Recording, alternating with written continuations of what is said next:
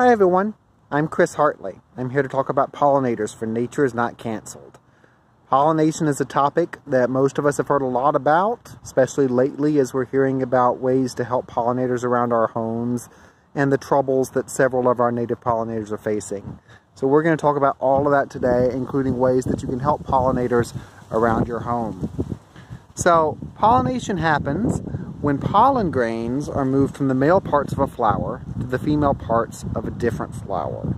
And here on these particular flowers, you can clearly see the pollen, those little yellow dots sticking up above the flowers. The pollen is borne on the anthers of the flower. And on these particular flowers, down in the center of the flower, where it looks like all the petals kind of come together into a tube, that's where the female parts of the flower are, where the pollen must be moved to, and in most flowers where there's a nectar reward to entice pollinators to come in and move that pollen around. So that's pretty much the scheme of pollination in whichever flower you look at. Most flowers provide that nectar reward. Some don't provide a reward, but entice pollinators to do the pollination in other ways. But most do. So at the end, pollination is kind of an agreement between flowers and the insects the insects get food and the flower gets pollinated. And of course, it's not always insects, though they are the main pollinators.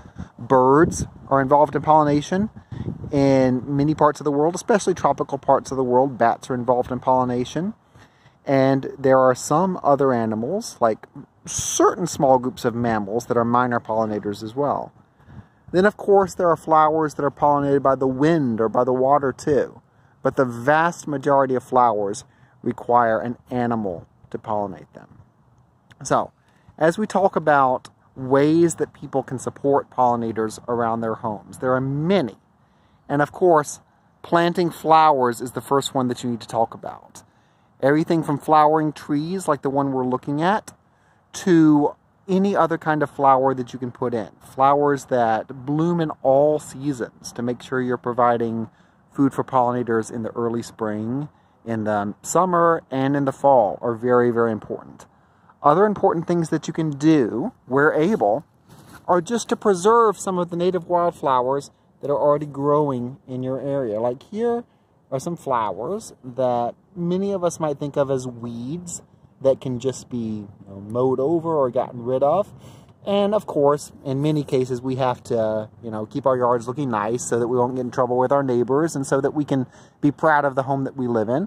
But I always encourage people, wherever possible, wherever you have a space to let wildflowers like this grow, do so.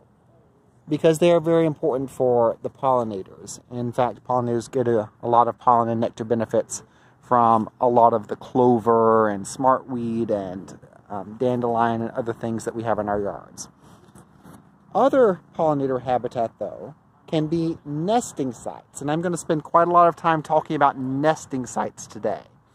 As we go to look at some of the different kinds of bees that live in our neighborhood, especially, nesting sites can include an area like what we're looking at right now.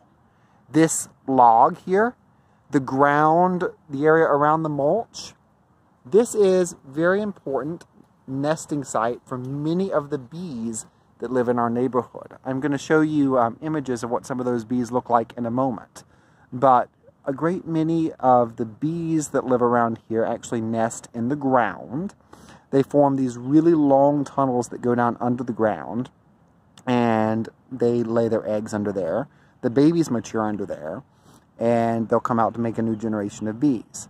So many gardeners who want to provide a service for the native bees can include areas like the one we're looking at right now in their gardens.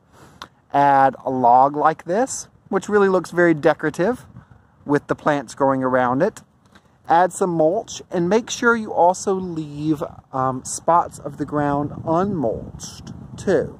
Because those spots, where you can see areas like what we're looking at now, where the mulch um, is kind of pushed aside. Now this has probably mostly been done by squirrels and whatnot digging around, to be fair. But this is an example of what a pollinator habitat might look like.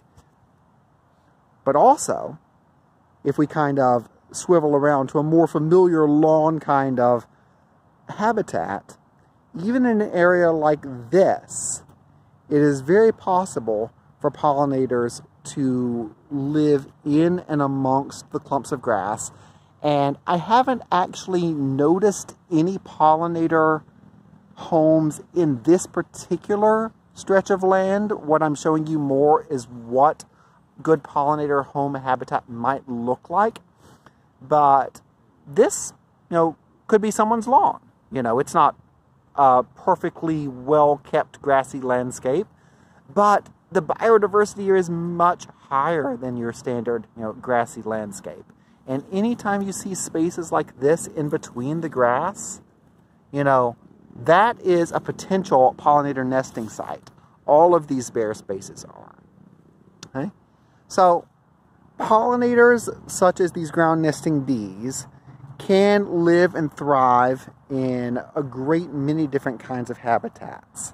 And spaces that you wouldn't think could support them actually do.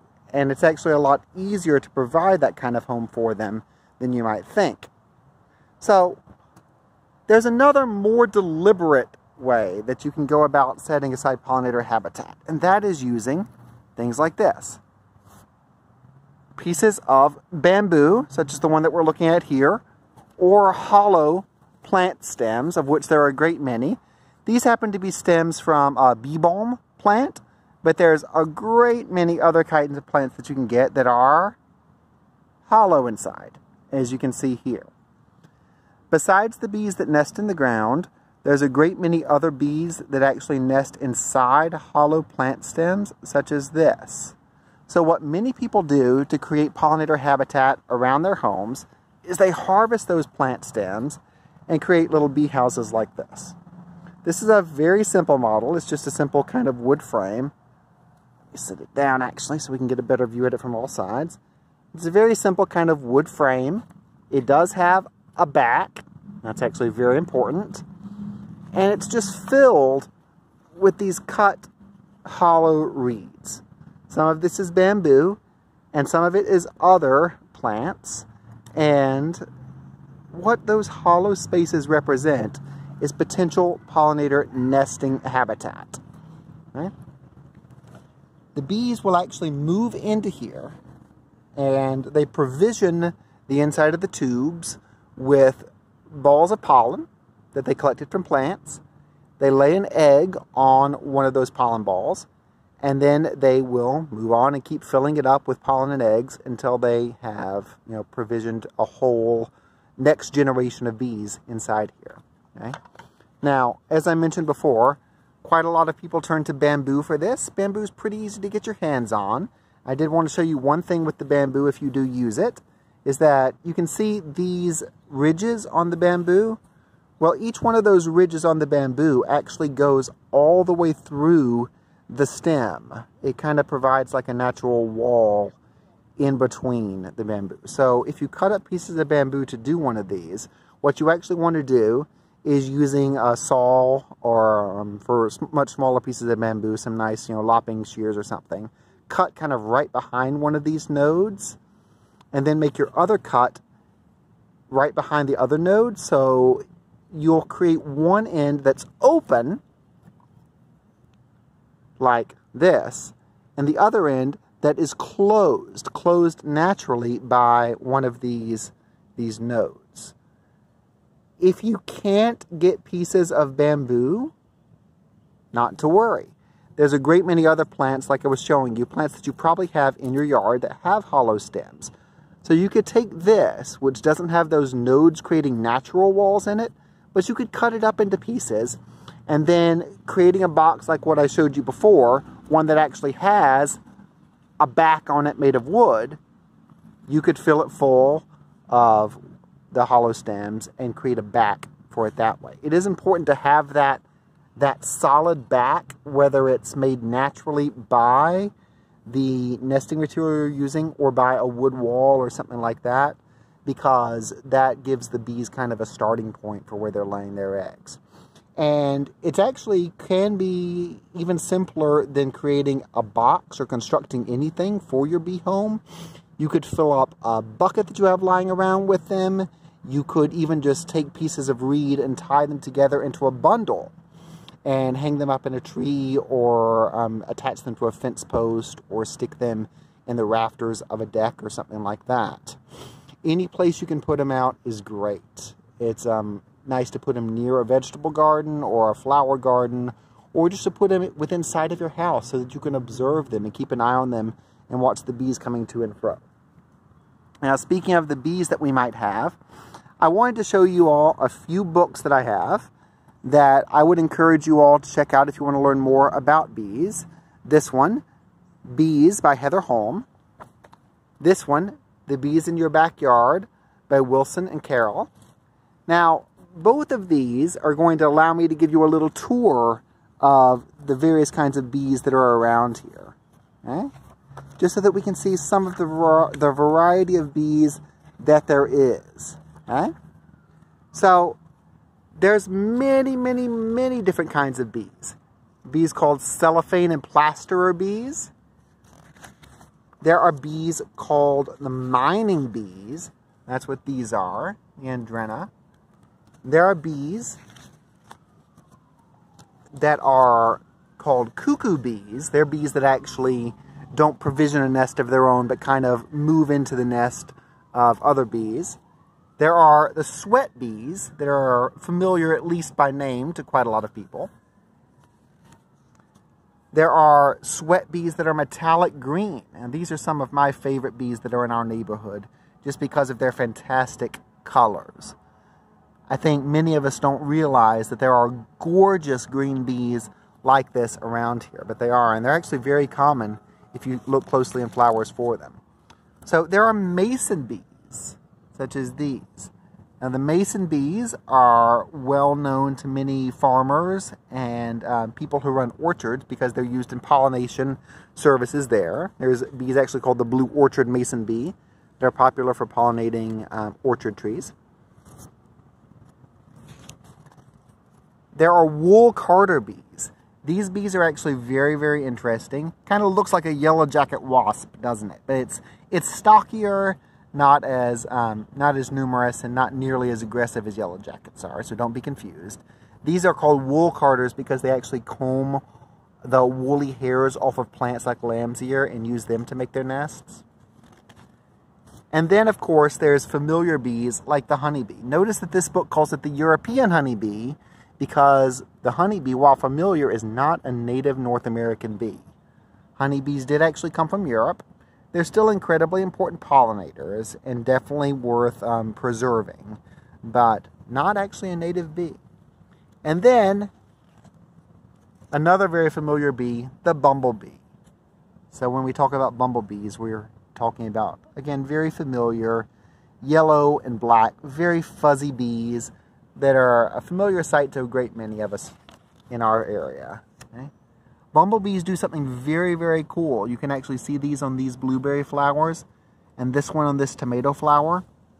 Engaging in something called buzz pollination. What buzz pollination means is that the bee will actually grab onto the flower, as this bee is grabbed onto this tomato flower, and vibrate its body very rapidly so that the pollen falls out of the flower and onto the bee. This behavior makes bumblebees the most effective pollinator of tomatoes because other bees can't effectively get the pollen out of those really weird, narrow shaped flowers. So, bumblebees are vital for the pollination of tomatoes and blueberries and other related plants, which happen to be North American native plants. Native bees for native plants work really well together. So, the other thing that I wanted to show while we had this book out was some of the other nesting habitats that bees can be found in because they are really quite numerous. So, bees, as I mentioned, nest either underground or in hollow plant stems. So here is some examples of what um, underground nests can look like. Okay? Here's another example, like some of the ones I was showing you in the area around me. Um, the bare areas around the edges of trails can be very useful to bees. Here's a female perched, at the entrance to her nest. Okay. But also, here's another female mining bee going underground. The area, uh, such as in this particular park setting, um, that kind of looks bare and neglected, that's prime bee habitat. In fact, there's been some very interesting studies done in my very own city of St. Louis about how bees are thriving in abandoned lots because precisely because they are abandoned. They're not being, you know, kept up and potentially chemically treated, and that's a bee's heaven. So, the bottom line for us who want to do more to help pollinators around our homes should be just that you can, by making very small changes, help the bees out.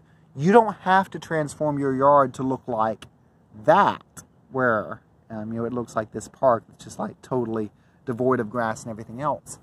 It could actually be an area like this, as I was showing you before. You know, this is bee habitat. This is an area that could support a great many bees and do so very well. And then the more flowering plants that you can introduce into this landscape, again, keeping in mind that the more different seasons that you can cover, the better, especially paying attention to early spring and late fall when it's harder to find a diversity of plants that bloom during those times. Those are the times that are especially crucial to the bees, but also to the other pollinators. So I wanted to conclude just by talking about some of the other pollinators that you could expect to see in your neighborhood. Because besides bees, of course, there's butterflies and their night flying cousins, the moths, but others that we don't often think about or pay much attention to are flies. This is a flower fly. It's a big group of flies called the flower flies. And as you can see, if I can get even closer, you can appreciate that this fly's mouth parts are actually covered in pollen, which it will move to another flower as soon as it goes to visit it. So flies are extremely important pollinators. After the bees, the general consensus is that flies are the world's second most important pollinators. I'll show you some more. These fascinating creatures are called the bee flies, mainly because many of them do resemble fuzzy bees. They also have these really elaborate mouth parts made for reaching down into flowers and getting the nectar out. And those fuzzy bodies are really well made for getting the pollen off the flowers and for moving the pollen around too. So there's bee flies, there's flower flies, there's a great many other flies that are incredibly important pollinators as well. So um, when we think of flies, we often just think of you know house flies and flies that are an annoyance, but flies are incredibly important to the natural ecosystem and can be conserved and encouraged through um, kind of the similar ways that we're encouraging and supporting bees planting flowers, providing natural habitats. And then a very large and important group of insects and organisms in general, the beetles are also pollinators. So here are some photos of various scarab beetles. Scarab, again, refers to a family of beetles with many, many, many different individual species in it. They're important pollinators. Many of these can be seen around here and if you look closely at your flowers, you'll notice quite a lot of these beetles on them. Many of them resemble bumblebees in their own right. For example, this one, which is quite hairy, like a bee, but, you know, is just mimicking it, trying to gain some protection by maybe making a potential predator think it might be a stinging insect.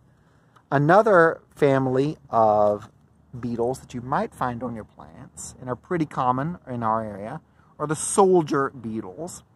This, uh, this one right here, the orange and black fellow, is called the goldenrod soldier beetle, but it occurs on plants besides just goldenrod.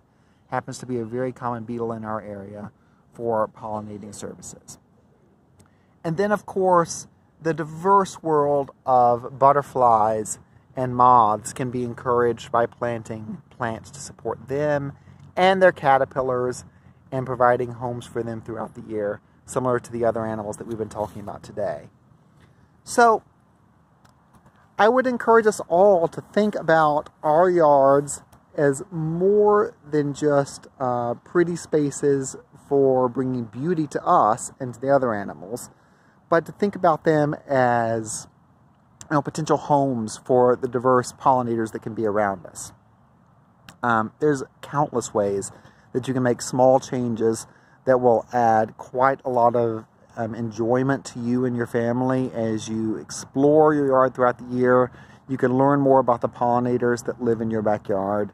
You can learn more about the wildflowers that can either be uh, planted and grow well in our area or that just kind of grow and pop up naturally that um, you can um, encourage and promote where you can.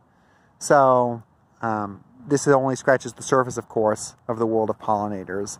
There's so much more to keep learning, and even someone like myself who has learned a little about, about insects every day always finds that there's more out there to learn and discover.